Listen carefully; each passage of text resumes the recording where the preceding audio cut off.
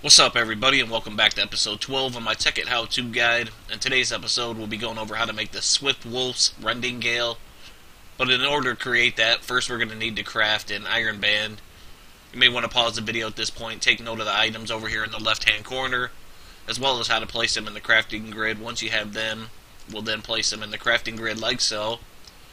Put our bucket of lava in the middle and that gives us an Iron Band. I'm going to take a quick pause and I'll be back with you and show you how to make the Swiftwolf's Rending Gale.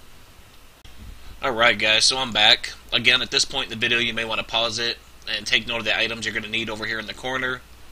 Once you have those, you place your iron band in the middle like so.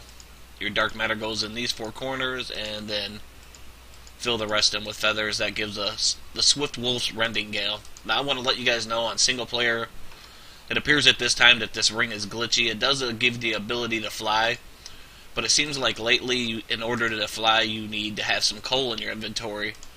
But if you've been following the video, that is not a problem for us, seeing that we have our MK2 collectors and relay.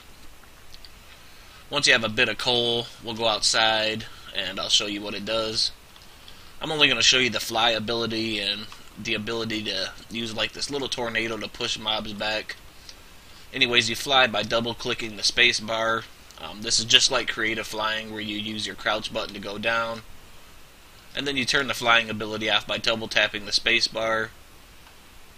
Now with the ring in your hand, you can then right click and it shoots out this tornado. If you have coal in your inventory, I believe you can, if you have it down in your heart, hot bar that is, you can smite things.